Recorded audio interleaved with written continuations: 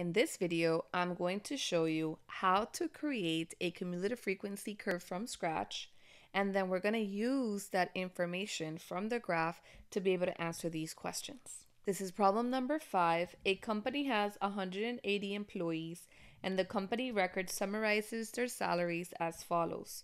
So on the left hand side in the first column, we have the salary of these 180 employees in the thousands. Okay, so when it says between 10 and 15 in the first interval, it really means between 10,000, including 10,000, and 15,000, but it does not include 15,000. So you need to understand how to read that.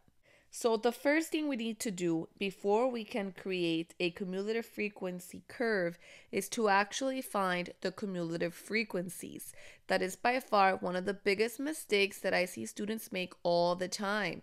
They're given data, they're giving the frequencies, but they have to realize if you are being asked to create a cumulative frequency curve or OGIVE, O G I V E, that's how it's also called, then you need to realize that you need to create a cumulative frequency column. In this case, the space is here for us, which is great because they're even asking us in part A to complete this cumulative frequency column. So let's go ahead and do that. The first number is going to be 8. Then the way it works is that you're going to add. So 8 plus 13 is 21. 21 plus 19 is 40. 40 plus 26 is 66. 66 plus 32 is 98. 98 plus 35 is 133. 133 plus 20 is 153. 153 plus 13 is going to be 166. Then plus 10, 176 plus 4 is 180, which is great because they have told us in the problem there's a total of 180 employees. So we better get our cumulative frequencies to add up to 180, and they have. Now that we have the cumulative frequency column, we are going to practice the four step plan to success, as I like to call it, for you to create this cumulative frequency curve.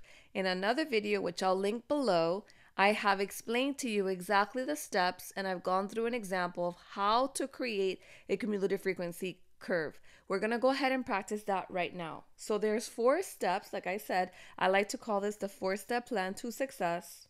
Step one is to add a zero to the top of the cumulative frequency column.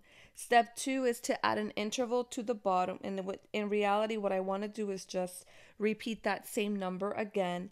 I'm going to circle the leftmost numbers and then I'm going to draw diagonals. So 10 goes with 0 and those are going to become my ordered pairs. So 10 goes with 0, 15 goes with 8, 20 goes with 21. I'm writing them down as I do the diagonal so I don't make a mistake because this is a long list of numbers. 25 comma 40, 30 goes with 66, 35 with 98. Then we have 40 with 133. 45, 153. 50, 166. 55, 176. And 60 goes with 180. So those are the ordered pairs that I need to graph on my cumulative frequency curve. So here's my graph paper. On the IB exam, you will be given graph paper and it's going to look something like this. They sometimes are very specific as to, you know, how many centimeters they want you to make it. For now, we have to realize on my x-axis, I need to go from 10 to 60. And on my y-axis, my cumulative frequencies go up to 180. So I'm to see if I can space this out nicely. I'm to go 10, 20, 30, 40, 50, and 60. So that fit beautifully. Okay, so right there, I'm able to put everything on my x-axis, which is going to represent salary in the thousands. So I'm going to go ahead and label my axis. And notice I'm labeling it exactly the way they have told me in the problem. This is the salary S and it's in thousands of dollars. Okay. I do not need a break right now because I am consistent from 0 to 10, 20, 30, 40, 50.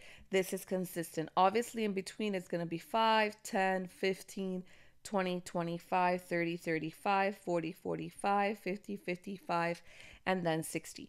Now, on the y-axis, I have to get as high as 180. Let's see how many of these we have. Let's see if I can go one, two, three, four, five, six, seven, eight. Okay, so I have eight of them, and I have to get as far as 180. 180 divided by 8 is 22.5. So maybe I'll go by 25. I can either go by 25. I can't go by 20 because I'm not going to make it if I go 20, 40, 60, 80, 100, 120, 140, 160. I'm going to be short. So I don't want to do that. I could go by 25 and then realize that in between 25, however, the halfway mark is going to be 12 and a half. So I don't know if you really want to deal with that either. Another option that we have is to go by 30. So I can go 30, 60, 90, 120, 150, 180. And because the amount of space between 0 and 30 right here, there's 10 little bars, 10 of these, 1, 2, 3, 4, 5, 6, 7, 8, 9, 10. That means that in reality, each one of these that you see is going by 3, 3, 6, 9, 12. And I'm not going to like basically write all those out because that will be ridiculous, okay? It's going to make our graph look very cluttered. But I just want you to understand that if they give you a choice, then you have to make a good choice so that you can graph this as accurately as possible. Most of the time, when they want you to draw a graph, they will tell you in advance how far apart they want everything to be. And then, of course, we have to remember to label our axes. So these are your cumulative frequencies. Very important. You must label your axes. Okay. It's one of those things I have to get on my students all the time. You need to, it is a requirement. Nobody's going to understand what your graph is about if you don't label your axes. Okay. Done with my rant about labeling your axes. Let's go ahead now and let's plot these points as carefully as possible. The first point is 10 comma 0. So 10 comma 0, I'm going to start off at 10 and 0. Then my second point is 15 comma 8. 15 is in the middle. Remember that we're going by 3. So I'm going to go 3, 6, 9. So right before I get to 9, that's where my point's going to go.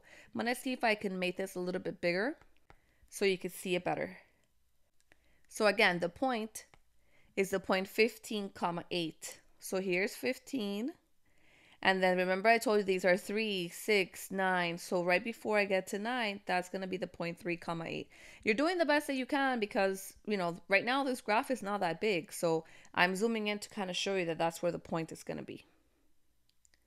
Let's see what the next order pair is going to be. It's now so big. So 2021, okay? So 2021. So on the graph, I go to 20, which is here. And the remember is going by 3. So 3, 6, 9, 12, 15, 18, 21. So right here is going to be the point 20, 21. And I'm going to erase all of this because it's going to be super distracting. And I'm just going to go 20, 21. Okay. So that's my point 20, 21. Here was the point 15, comma 8. Here's the point 10, comma 0. Let's keep going. So after 2021, we have 2540. So 2540, so here's 25, this is 30, 33, 36, 39, 42, 45. Awesome. That one is going to be beautiful. So let's go ahead and just put it right there. So 25, 45 is right there. The next one, oh, it's 2540. It's not 2545. So hold on.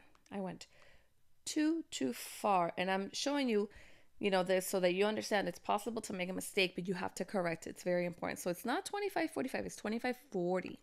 So 2540, again, here's 25, so 33, 36, 39, 42. So it's about here actually. Okay, it's not quite up onto that one.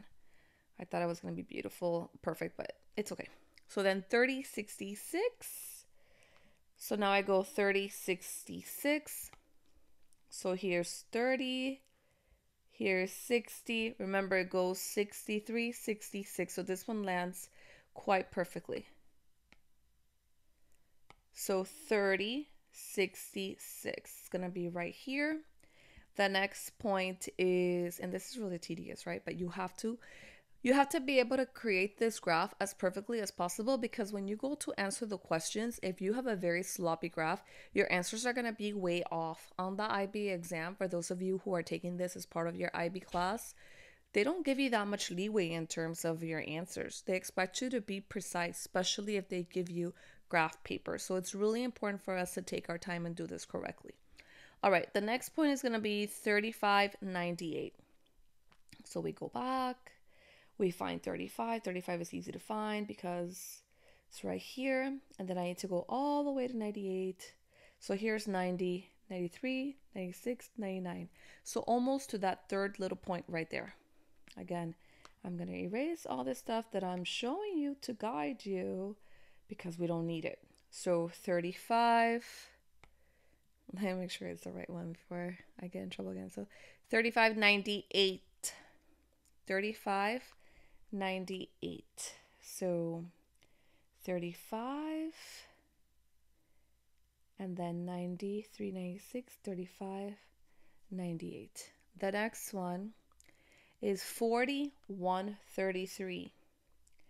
Okay, so 40 and then 133. So 120, 123, 126, 129, 132, 135. So it's going to be right after 132, right before 135. So it's going to be about here. Then we have 45, 153. So 45 and then 153. Then we have the point 5166. So 50 166 will be right after 165 because these are all going by 15 in the middle. Um, 55, 176. We're almost done. So 55, 176. And then finally, we're at 60, 180. So 60, 180 is right here. And then you want to be able to make this curve as smooth as possible. Towards the end, I got a little bit sloppy. Let me see if I can do this one more time. I know on the iPad that I'm using, I have the ability to kind of just undo and then do it again. When you're doing this on an examination, you are allowed to use pencil for creating our graph. The entire exam, for those of you who are taking an IB exam, must be completed in blue or black ink. However, the graphs can be done in pencil. Okay, so if you do it really lightly, you should be able to get your smooth curve. Again, remember what I told you. Don't just kind of keep this line, this curve going forever. It has a clear beginning, it has a clear end. Super important. And there we have it. We have our graph. It is a cumulative frequency curve. We labeled the x-axis salary. We labeled the y-axis the cumulative frequency. So right now, we have completed the cumulative frequency column and we have drawn the cumulative frequency curve. Now we need to use the graph to find an estimate for the median salary. The median salary is the value in the middle. The median salary is approximately the 50th percentile. So, what you need to do to determine the median salary is that you're going to go to the total amount of frequencies that you have here 180 employees. The halfway mark is going to be at 90. 90 is not the answer that we're looking for. It is not the median salary, it is the location of the answer. So, again, you take n, which is the total amount here, okay, it's 180. To find the median, the median is approximately the 50th percentile. 180 times 0.5 is 90. Now you're going to go to the graph. You're going to locate 90 on the cumulative frequency axis. You're going to go straight across until you touch the graph. As soon as you touch the graph, as careful as possible, you are going to come straight down. So right now, that means that 34,000 is the median salary, okay? So the approximate median salary is 34,000. And remember that even though we are at 34 on the graph, we have said that this represents thousands of dollars. Okay, for part D, the question says use the graph to calculate the percentage of employees with a salary below 22,000. In this case, we are going to start by finding the salary of 22,000.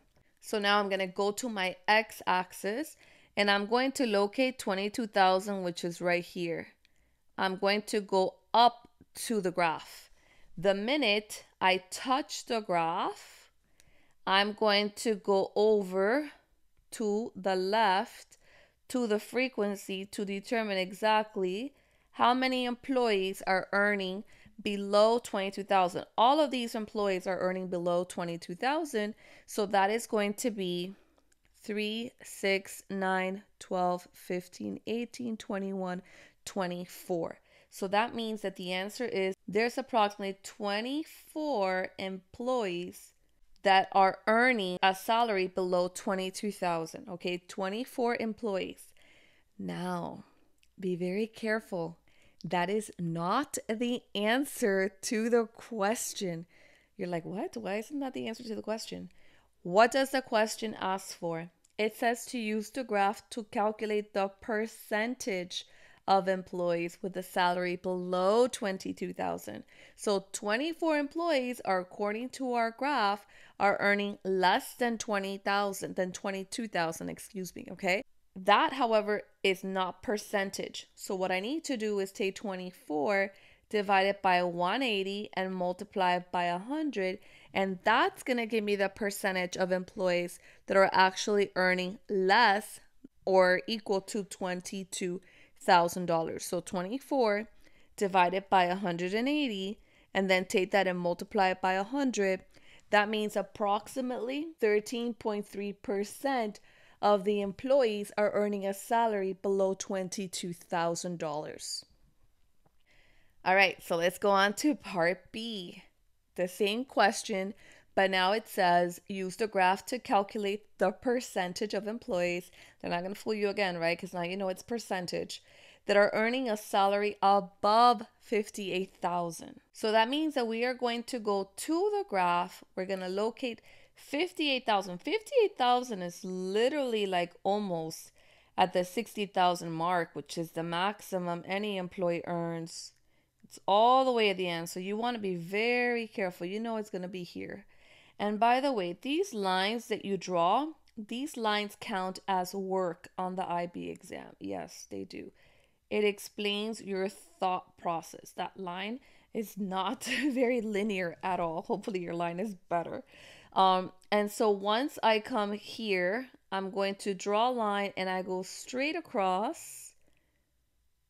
And so basically, because each one of these little smaller lines represents three, I'm going to say that there's about 177 employees that are earning less than 58,000, which leaves us with three employees that are earning more so that means three employees have a salary above 58,000.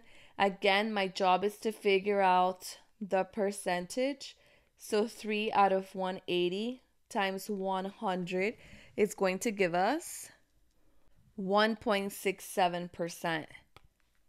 So about 1.67% of our employees have a salary above 58,000. All right, so now it says use your graph, this is in part E, to estimate the upper quartile and the lower quartile. And in case you have forgotten, the lower quartile Q1 is the 25th percentile approximately. So what we're going to do here is very similar to what we did with the median. we're going to take the total, which is 180, and then we're going to multiply that by the quarter marks times 0.25 to figure out what's a quarter. Well, if 90 was half, then basically what we're doing is half of 90. So that's going to be 45. Either do it in your calculator or just, you know, common sense. The midway uh, was found at 90 because half of 180 is 90. So a quarter is half of 90, which is at 45. But again, if you just multiply 180 times 0.25, you're going to get the answer 45. 45 is not the answer to this question. 45 is the location of the answer, which means now you go to the graph on the cumulative frequency, you locate 45, you come straight across until you touch the graph as precisely as possible. That was why we took so long to make this graph as perfect as possible. Then you come straight down. So 26,000 is going to be my approximate lower quartile. Okay. So that's going to be my lower quartile. It's about $26,000. To figure out what's called your upper quartile, upper quartile is basically your Q3 Upper quartile is now going to be approximately your 75th percentile. So we do it the same way. We take 180 this times times 0.75. So again, if I were going in quarters up to 180, it would be 45, 90, 135. So I know that when I multiply this, I'm going to get 135. If you don't believe me, again, put it in your calculator and you're going to see that 180 times 0.75 is going to be 135. So then I come to my graph and I locate 135. So 135 is going to be right here.